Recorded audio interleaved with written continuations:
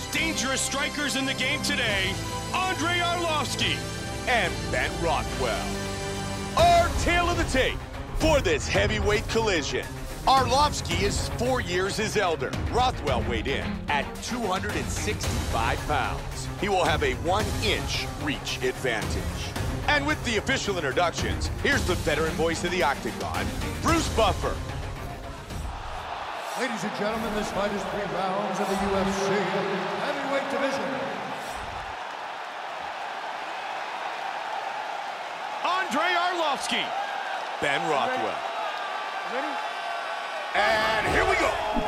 Our fight tonight is scheduled for three five-minute rounds.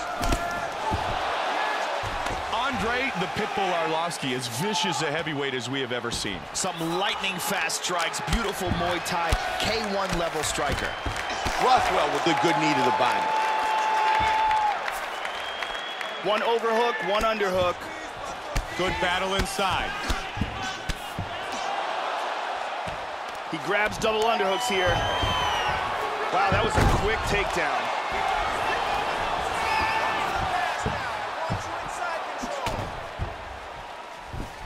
Now he's got full guard.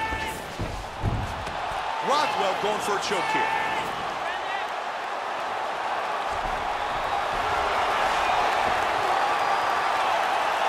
Looks like he's got the guillotine locked in tight.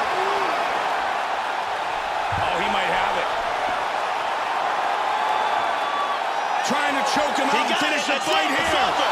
It is all over. Big Ben Rothwell by submission.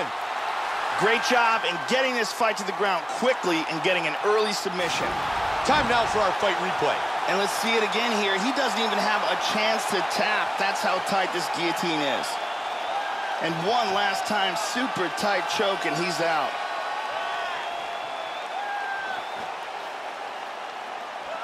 And one more time, nice technique here on this submission. Bruce Buffer has the official decision. Ladies and gentlemen, referee Yves Lavigne has called a stop to this contest at 1 minute, 41 seconds of the very first round. Declaring the winner by submission due to a guillotine choke, Ben Rothwell! Ben Rothwell gets the submission victory here tonight.